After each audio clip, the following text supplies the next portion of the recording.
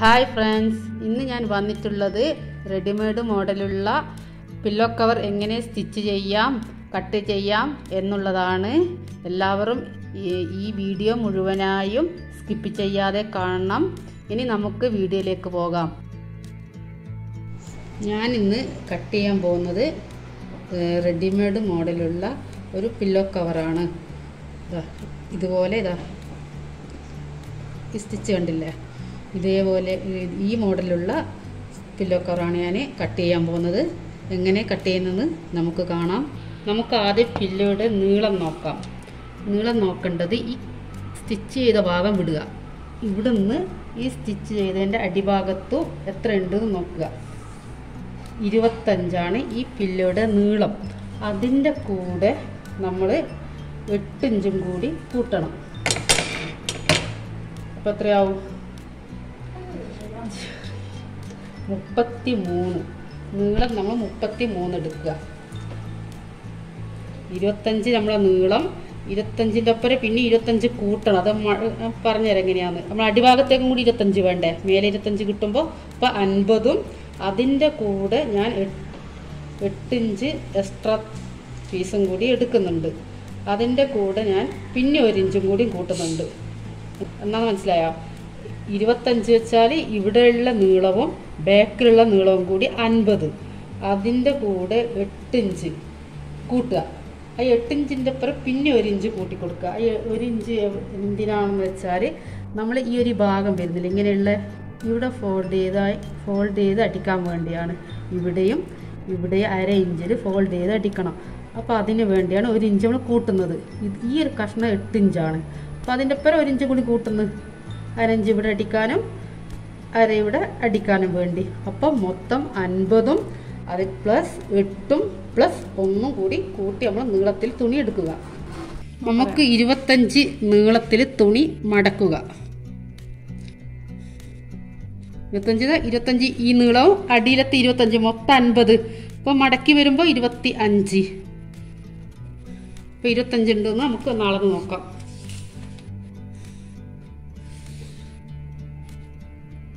ഇതിൽ കുറച്ചും ഉണ്ട്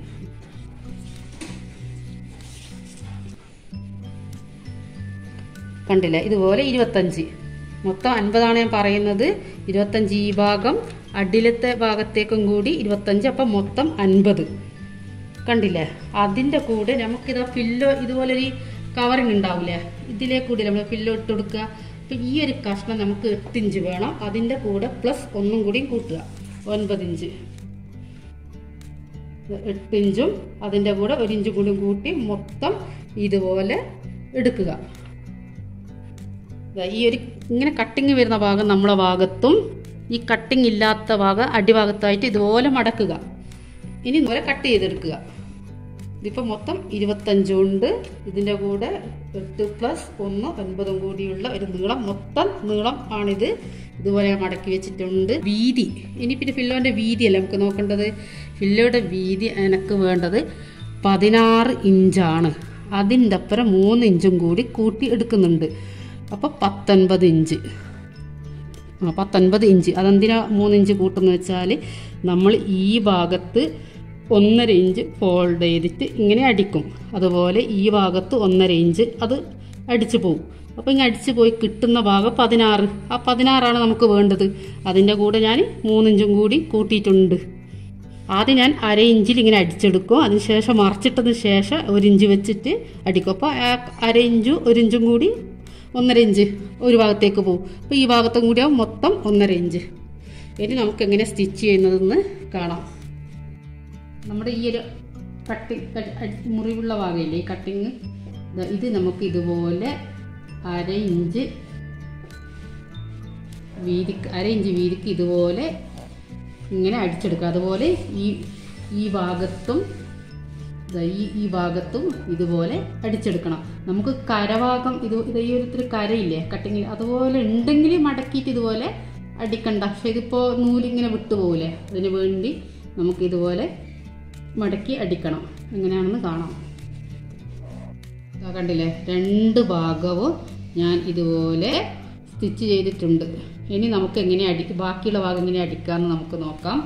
രണ്ട് ഭാഗം അടിച്ചതിന് ശേഷം നമുക്കിത് നല്ല വശം നല്ല വശം കൂട്ടിച്ചേർത്ത് മോശം ഭാഗം മേലെയാക്കി വെച്ചിട്ട് ഇതുപോലെ മടക്കിയെടുക്കുക. ഇങ്ങനെ വേണം നമുക്ക് തയ്ച്ചെടുക്കാൻ.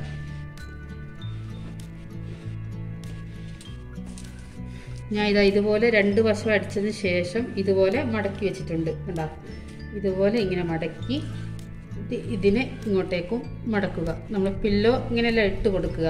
അതുപോലെ മടക്കുക. ഈ മടക്കുമ്പോൾ എട്ട് ഇഞ്ച് ഉണ്ടോയെന്ന് നോക്കുക. അതാ ഈ എട്ട് ഇഞ്ച് ഈ എക്സ്ട്രാ എടുത്തത് എട്ട് ഇഞ്ച് ഇതുപോലെ ഇങ്ങനെ മടക്കി കൊടുക്കുക. എട്ട് ഇഞ്ച് ആവുന്നത് വരെ മടക്കി കൊടുക്കുക. കറക്റ്റ് കണ്ടില്ലേ? ഇനി നമുക്ക് വേണ്ടുന്നത് ഈ അറ്റത്ത് നിന്നും ഇത് ഇവിടെ ഈ അറ്റം വരെ അടിച്ചു കൊടുക്കുക. പിന്നെ ഈ അറ്റത്ത് നിന്നും ഈ അറ്റം വരെയും അടിച്ചു കൊടുക്കുക. അരയിഞ്ച് വിട്ടിട്ട്. ഇങ്ങനെ അരയിഞ്ച് വിട്ടിട്ട്. പക്ഷെ മറിച്ചിട്ടതിന് ശേഷം പിന്നെ ഒരു ഇഞ്ച് വിട്ടിട്ട് അടിക്കാനുണ്ട് അത് ഞാൻ കാണിച്ചു തരാം. ആദ്യം അരയിഞ്ച് എങ്ങനെ എങ്ങനെ വെച്ചിട്ടാണ് അടിക്കുന്നതെന്ന് നമുക്ക് കാണാം. ഈ അറ്റം മുതൽ ആ അറ്റം വരെ അടിക്കുന്നത് കാണാം. നമുക്കൊരു പിന്ന് ഇവിടെ ഇങ്ങനെ കുത്തി വെക്കാം. എന്നാൽ പിന്നെ ആ എട്ടിഞ്ച് പിന്നെ അങ്ങോട്ടും ഇങ്ങോട്ടും നീങ്ങൂല.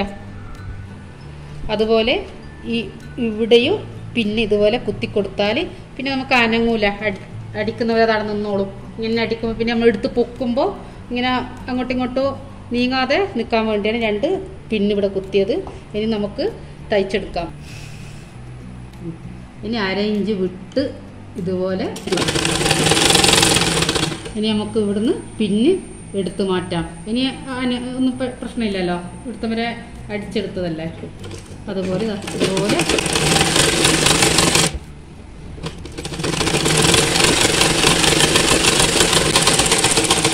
ഇതുപോലെ താഴ്ഭാഗം വരെ ഞാൻ അടിച്ചെടുത്തിട്ടുണ്ട്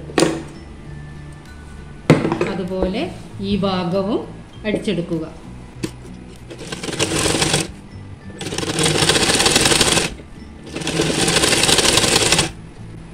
ഇനി നമുക്ക് ഈ പിന്നെ ഇവിടെ നിന്ന് മാറ്റാം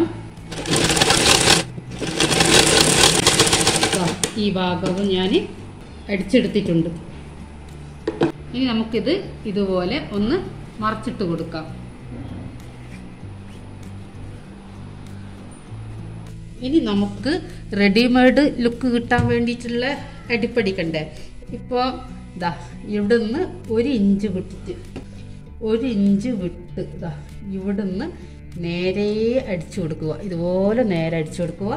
അതുപോലെ ഇവിടെയും ഒരു ഇഞ്ച് വിട്ട് ഇങ്ങനെ അടിച്ചു കൊടുക്കുക. അതുപോലെ ഈ താഴ്ഭാഗവും ഇങ്ങനെ ഒരു ഇഞ്ച് വിട്ട് ഈ ഒരു ഭാഗവും ഒരു ഇഞ്ച് വിട്ട് ഇങ്ങനെ അടിച്ചെടുക്കുക. അപ്പോഴാണ് നമുക്ക് റെഡിമെയ്ഡ് ലുക്ക് കിട്ടുക. നമുക്ക് അടിച്ചെടുത്ത് വരാം. നമുക്ക് ഇതിവിടെ ഇതാ ഒരു ഇഞ്ച് വിട്ട് അത് ഓരോരുത്തരുടെ ഇഷ്ടാനുസരണം നമുക്ക് വിടാം കേട്ടോ. ഞാൻ അവിടെ ഒരു ഇഞ്ചാണ് വിട്ടത്. ഇപ്പോൾ ഒന്നേ കാലെല്ലാം വേണമെങ്കിൽ അത്ര വീതിക്ക് വേണമെങ്കിൽ ഒന്നേ കാലം എടുക്കാം. ഞാൻ ഇവിടെ ഒരു ഇഞ്ചാണ് എടുക്കുന്നത്. ഒരു ഇഞ്ച് മനസ്സിലായില്ലേ? നമ്മൾ അര ഇഞ്ച് നേരത്തെ അടിച്ചു. ഇനി ഇപ്പോൾ ഒരു ഇഞ്ചും കൂടിയും കൂട്ടി ഒന്നര ഇഞ്ച്. അതുപോലെ തന്നെ ഇവിടെ ഈ ഭാഗവും അര ഇഞ്ച് അടിച്ചു. ഇനി ഒരു ഇഞ്ച് വിട്ട് പിന്നെ അടിക്കണം. അപ്പം മൊത്തം എത്രയായി? ഒന്നര ഒന്നര മൂന്നിഞ്ച് ഞാൻ പതിനാറ് ഇഞ്ചാണ് വീതി എടുത്തത്. അതിന്റെ കൂടെ ഞാൻ മൂന്നിഞ്ച് കൂടി കൂട്ടി. ഈ മൂന്നിഞ്ച് ഈ അടിക്കുമ്പോഴത്തേക്കും അതങ്ങ് പോകും പിന്നെ നമ്മൾ ശരിക്കുള്ള അളവ് പതിനാറിഞ്ച് നമുക്ക് കിട്ടും.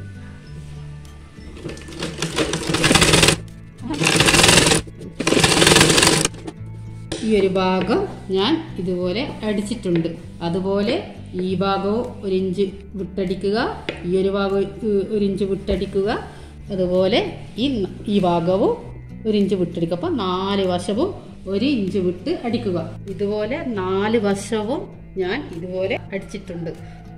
അപ്പുറം ഇപ്പുറം കണ്ടില്ലേ? അതുപോലെ നാല് വശവും ഇതുപോലെ അടിച്ചിട്ടുണ്ട്. ഇനി നമുക്ക്